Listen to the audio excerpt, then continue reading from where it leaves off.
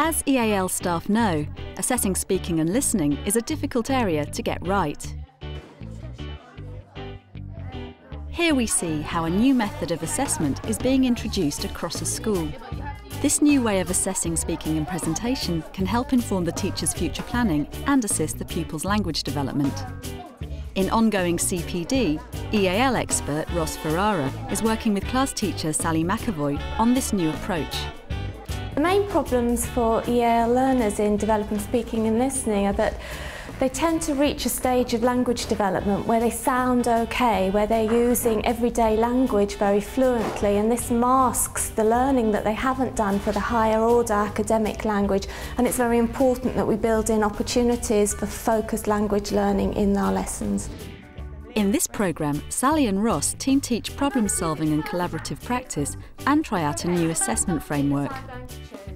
These activities provide opportunities for EAL staff to assess the pupils' creativity and problem solving, idea organisation and vocabulary, sentence structure and presentation skills. Then we chose a gun so that we could shoot the crocodiles and spiders. Today's lesson allows them to work collaboratively and use exploratory talk initially and then use the more formal, higher order language that they need for, for learning. And your problem is you have to travel across the island on the path to the treasure chest. The objectives of the lesson were to solve a problem working together as a group and then to present that solution as a group. And the children had a task to do. They had a picture of an island and their task was to move across the island and collect a treasure chest, which was at the far end of the island, and then take it back to their ship by sea and they had the option of choosing five objects which would help them to move across the island and transport this treasure chest back to the sea. So it was quite a, a mystery solving exercise for them to do. There were lots of um, hazards on the way through this island and then the actual problem of transporting this very heavy treasure chest by water.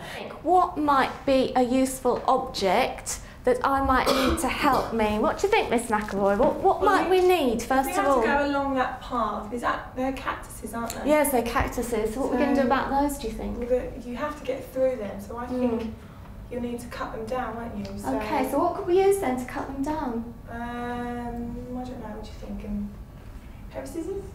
Mm, I don't think a pair of scissors would work. Machete. A machete. Mm. Axe or some sort of sword. Modelling at the first part of the lesson is very important for EAL pupils. You need to show them what they've got to do and the fact that we've given them a hands-on activity is also very important. You need to base what the children are doing in a real experience. It was lucky that I was with Sally and we were able to model that, not only the activity but the collaborative part of that if you haven't got somebody to partnership teach with, obviously you, you can't do that. But you could do it with your TA, or I've also done it with um, an able English speaker who can help you model that activity. So it is possible to do it. This type of lesson is really useful for all the children because there aren't many opportunities like this when we can develop a situation where we can assess effectively the speaking and listening of all the pupils in the class.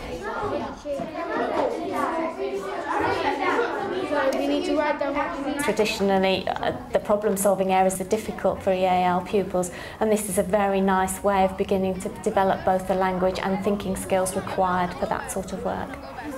Why don't we collect um, the log here and we bring it here and then we go across and then we bring the log. Then we make the boat here and we sit on it and we put the treasure on it and row. Yeah.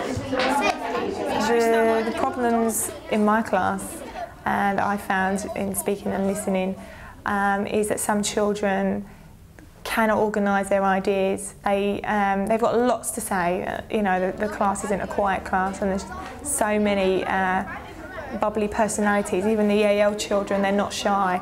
However, their ideas are disorganised and they have so much to say and they get really frustrated. As, oh, I can't remember the word, or oh, that's what, and then the other children tend to chip in and they do get really disheartened by that. In an activity like this, everyone has equal footing uh, and have their own input. It was really interesting and really eye-opening to go around the groups and actually see the children that have the input because actually they're not always the most able.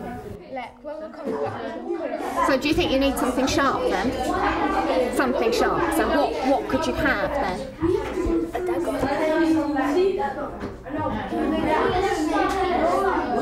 Pausing is important. EAL children often will have difficulty in actually formulating the language that they want to use. They need that wait time to actually work out the language in their head. What to use? An axe? A knife. If you chop the crocodile, You can't. so then you come which way? This way or that way? You can come that way. Well done, keep going. You can take the tree. That, that way, that's, that one's very difficult because what you can use for the bridge. Get a boat, a boat, another boat, yeah. Leave it there. Same boat. Leave the boat there and get another treasure. Yeah, but what, it on? okay, wait, That could be another object. Wait, wait, one, The first part of the lesson was involved in exploratory talk, working through different types of language, giving each other specific vocabulary, making suggestions, and that was this very sort of fragmented speech. It's disorganised, it's spontaneous, it's all part of the thinking process. Uh, they then moved on. Once they'd filled in their ideas onto the key visual, they then had a talk planner. Uh, this was structured with particular types of language, and what we focused on in the talk planner there was the use of uh, explanatory language and sequential connectives, so that they were actually ordering how they'd done things, but also explaining the reason for their particular choices. Show the speedboat so, so that we could make a raft. yeah, and then we'll drag it along. Come on, drag it along. With the wood, wooden planks. Drag it along with the And right to the comment and head together.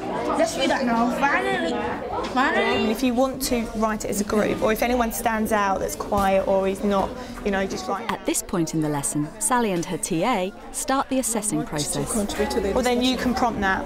Okay, you'll prompt that.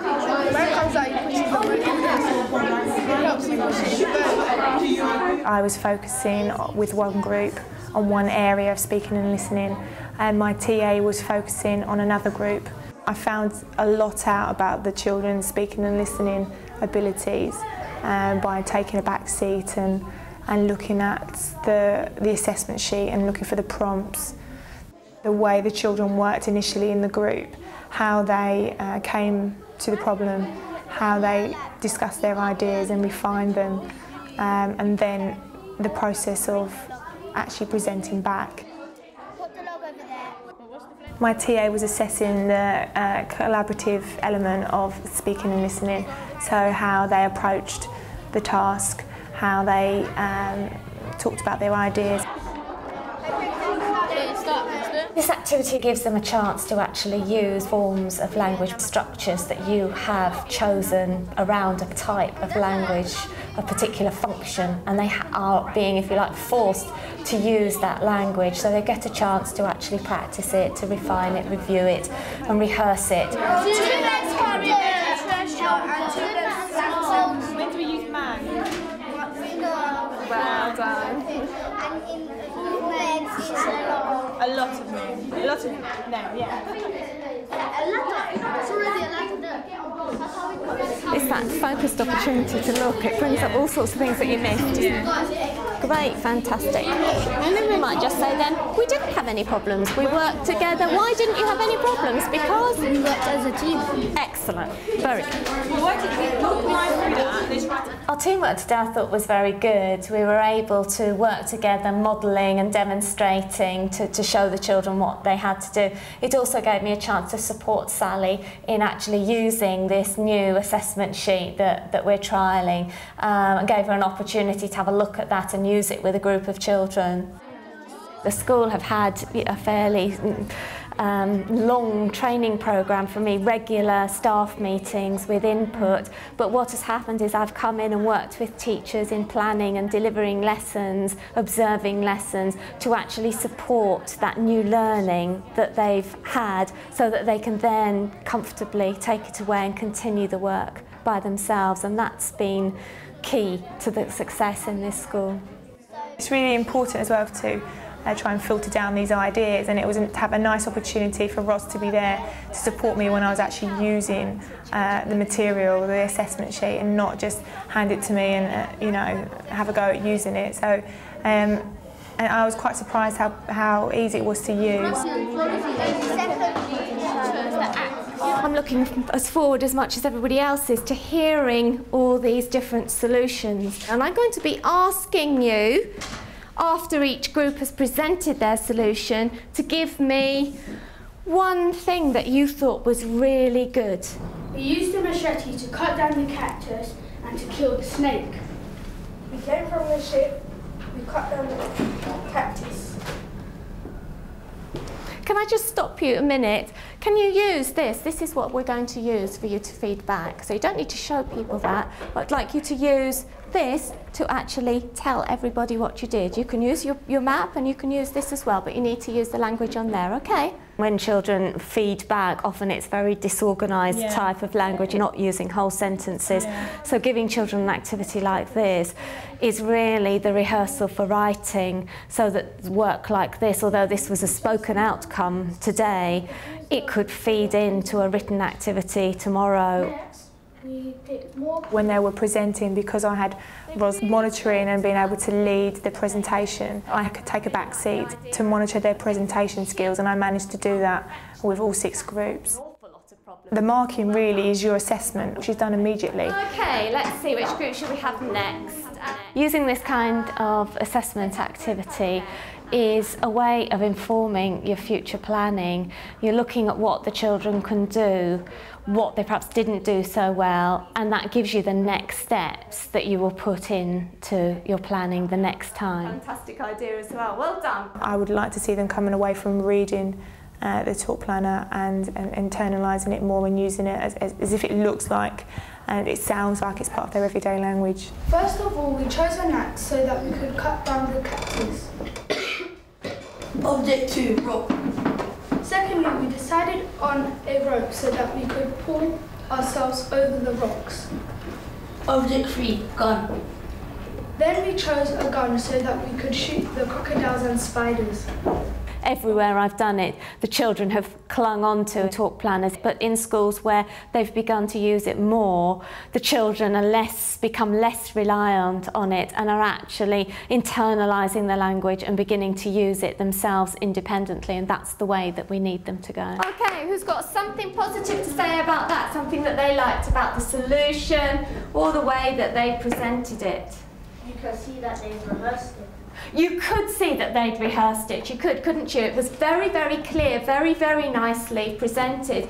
But I like the idea about the fact that you thought about something that you knew about. You knew about what people might need to use for rock climbing, and you used that idea to solve your problems. I just think that you did really well, and um, I can see that you've learned lots of language today. And I think it was you, Lou, that said that you could hear that you'd rehearsed it, and the big difference when you actually use a, a planner to think about what you're going to say because it's hardly taken us any time to present back and usually our presentations take a lot longer than this because maybe we haven't rehearsed it as well as we can do so something that we need to think about for the future. It's nice for you to, to be there and do the control so I can do the assessing side. Yeah. But it, it could be manageable termly to actually, mm. uh, or maybe slim down the assessment sheet, or take the children and then let my TA go away and fill in mm. the sheet at another mm. time. Yeah, that's good. For examples of the assessment resources from this programme, go to www.teachers.tv.